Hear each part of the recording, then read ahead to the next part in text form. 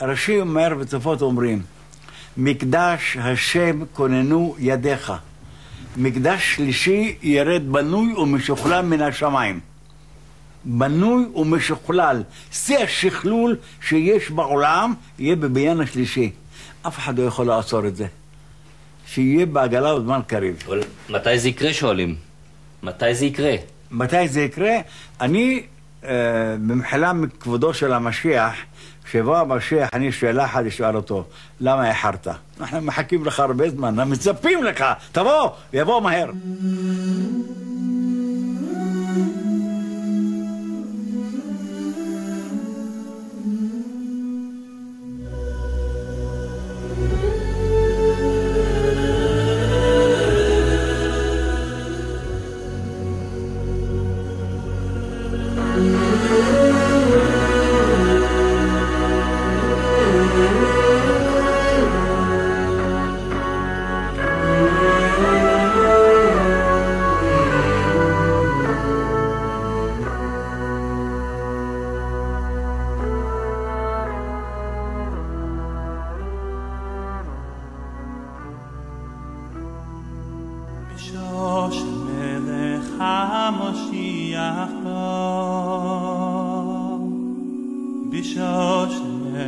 מלך המשיח בא.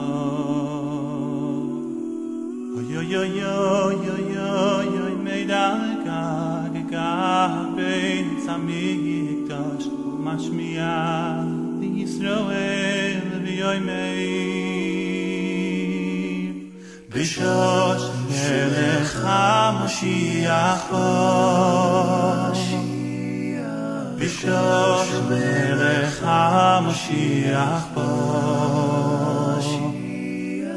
yo yo yo yo yo mei da ka ka bei samik tash mashmiya israel yo mei anav yemanavi igi azman igi azman geolastem Amen.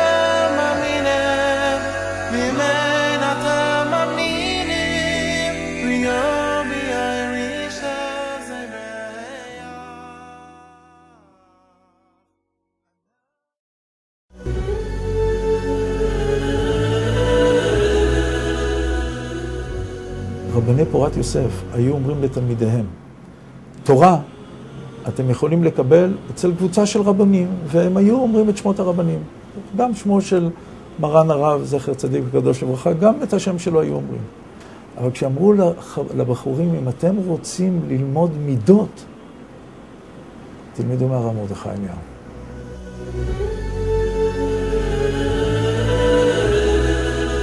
הייתי קרב ראשי לארץ ישראל, ומותר לומר שאני כמעט ולא רציתי להיות. גם במשפחה לא רציתי להיות, הרבנית לא רצתה, ולא רצינו להיות, כן, רצינו להיות הווה קיבל וקיים, שיהיה במקומנו. אבל הרבנים כולם באו הביתה ולחצו עלינו ואמרו שחייבים וחייבים וחייבים, ובמקום שאין איש, השתדל להיות איש. הוא לא היה הולך לחופש, כמה להפסקות, לא היה שום דבר, לא היה שום דבר. רק רגע היה שותה מים, משהו, היה חוזר ללמוד.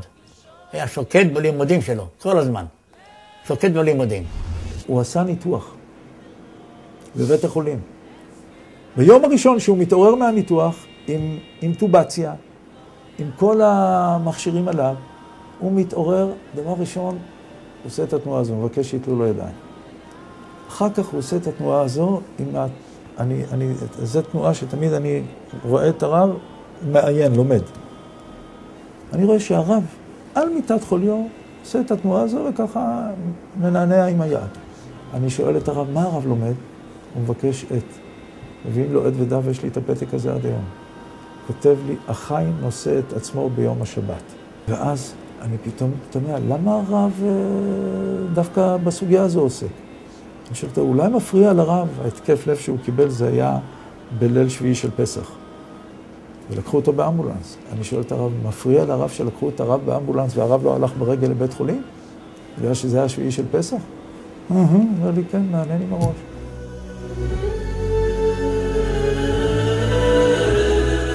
הרב באופי שלו, בגדלות שלו, הוא ידע לתת לנו, הקטנים, להיות גדולים.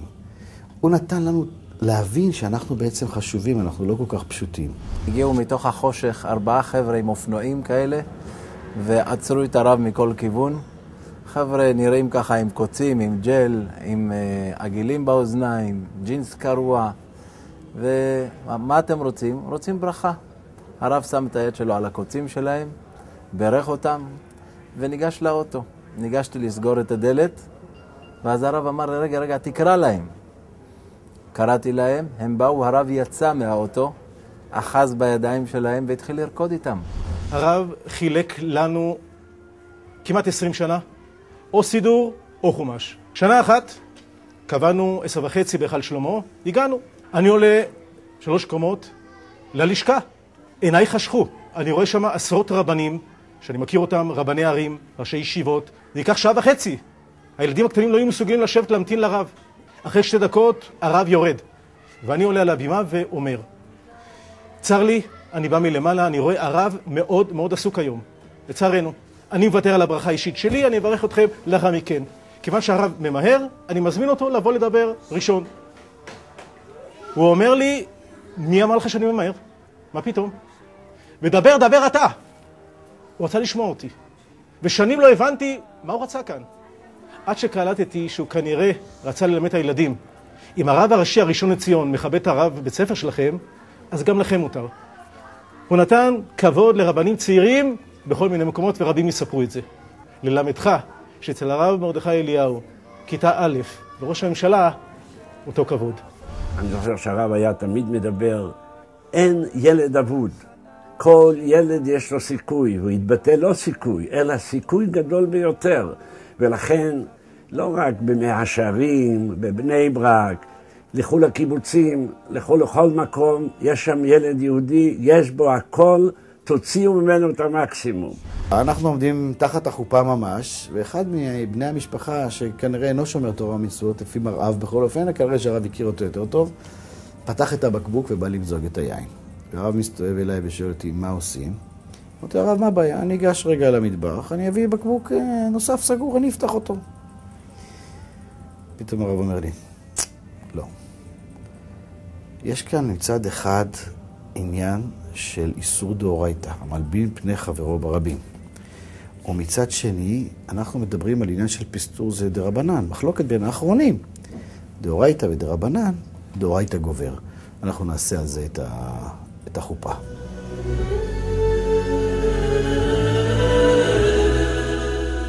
אצל הרב אליהו הייחודיות שלו הייתה נקייה. אין בה משקעים, אין בה תאוות, אין בה טובות הנאה. יהודי מצרפת, מרים טלפון, רוצה לפגוש את הרב אליהו. העליתי אותו, ישבנו איתו שעה ורבע.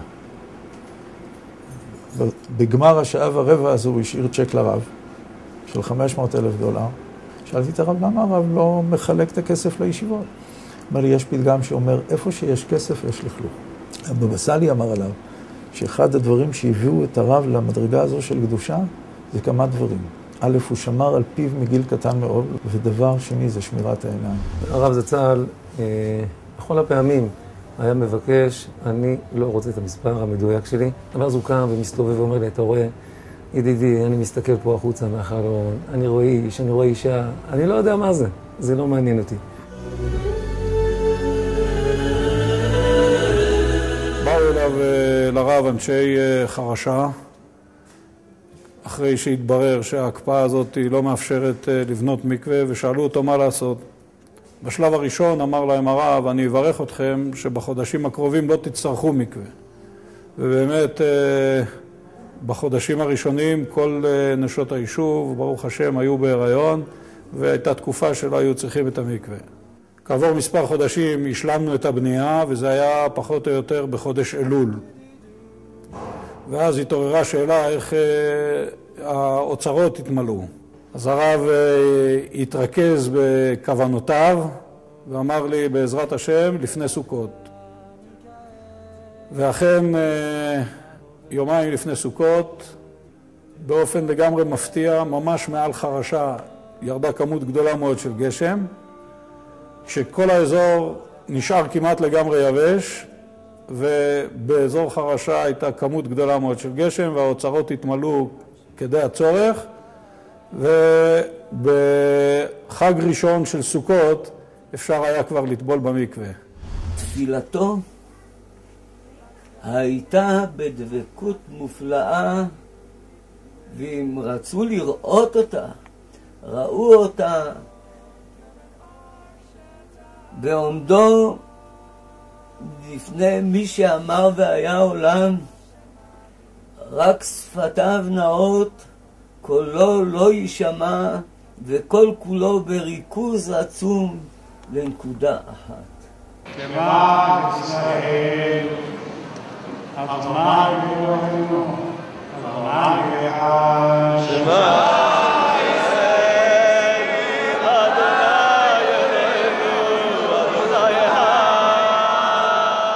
אחד עם הבת שלי גם היה, הייתה בנזין, הרופאים הרימו ידיים, אין מה לעשות. אומרים אין מה לעשות.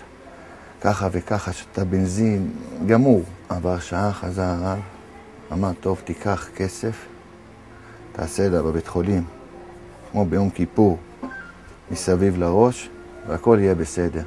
ברגע שסיימתי לעשות לה את ה...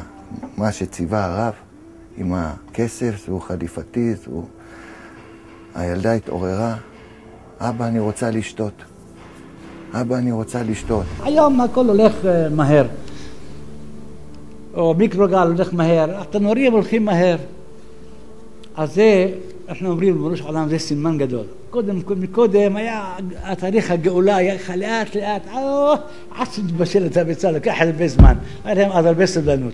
היום לנו אין סבלנות לחכות. אפילו באוכל אנחנו רוצים מהר מהר. לכן ריבונו של עולם, לנו אין סבלנות לחכות. אנחנו רוצים גאולה שלמה מהר.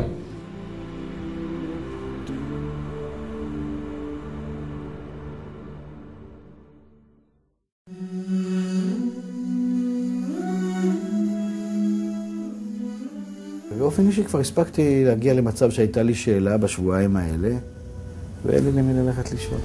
אדם שמאבד דבר, פעמים הוא בכלל לא יודע שהוא איבד אותו.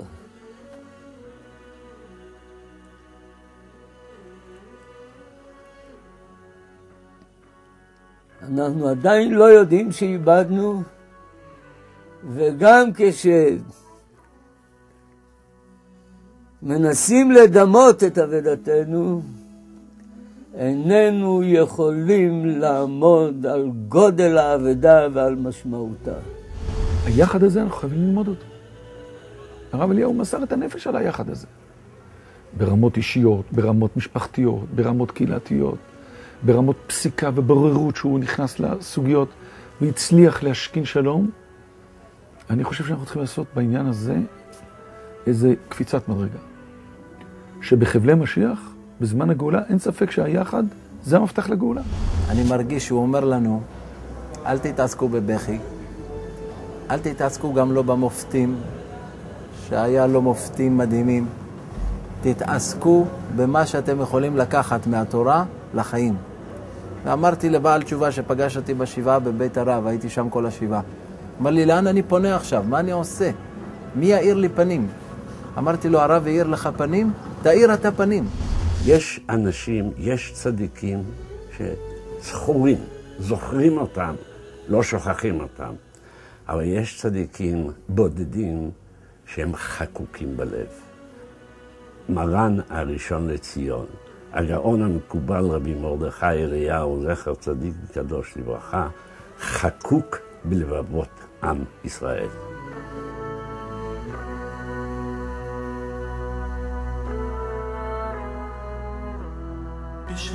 בשוש מלך המשיח בוא, בשוש מלך המשיח בוא. אוי אוי אוי אוי אוי אוי אוי מדרגה גגבי אני נותן ברכה מכבודו שיברך אותי שלא ניכשל בדבר הלכה. שמה שנפסוק הלכה זה הלכה אמיתית. בשוש מלך המשיח בוא בשוש מלך המשיח בוא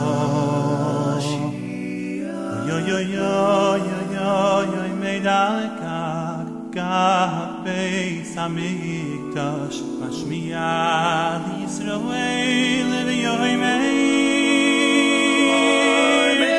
anavim